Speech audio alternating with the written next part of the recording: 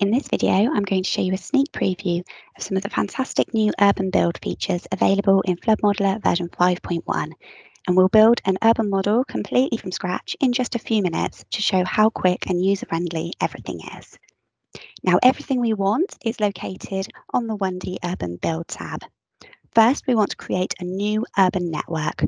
We'll click New and give our network a name.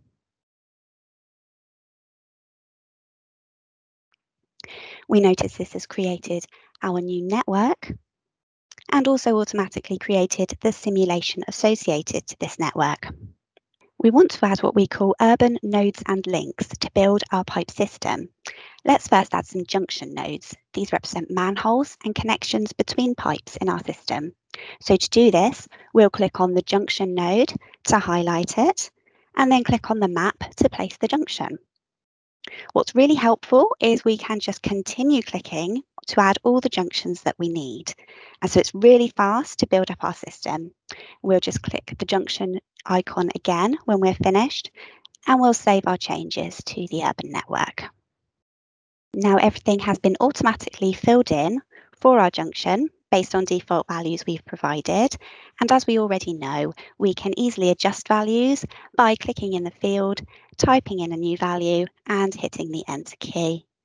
And always remembering to save. We have lots of other nodes available on this tab, so it's really easy for us to add all the features we might need. For example, if we have an outfall where the water leaves our urban pipe system, we simply click on outfall and then click on the map to add it and again, always save. Now the links are the pipes connecting all of our nodes.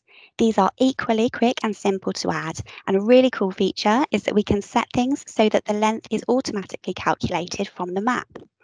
I've already set this, so I'll simply click on Add Link, and this little window pops up.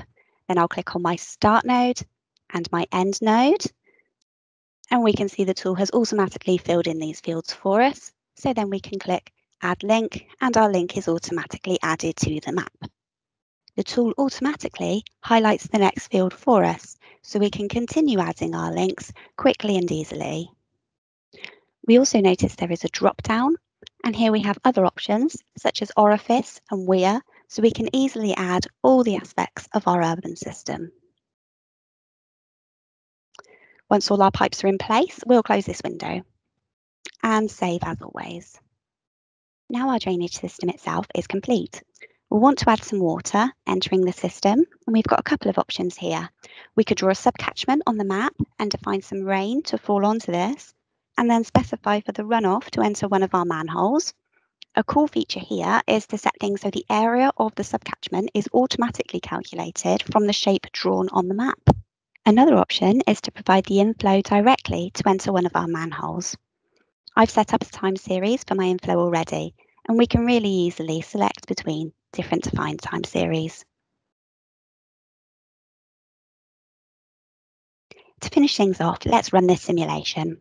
Once we've confirmed our time set and simulation start and end time, we'll just click on the simulation down here, right click and select run.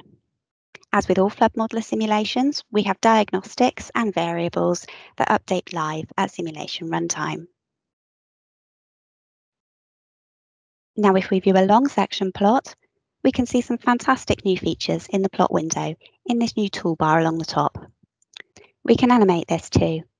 So this is now showing the route through our pipe system, and we see our water levels changing as the simulation progresses. Thank you for watching this tutorial video on some of the new features for building urban models. For more information, please visit www.floodmodeller.com.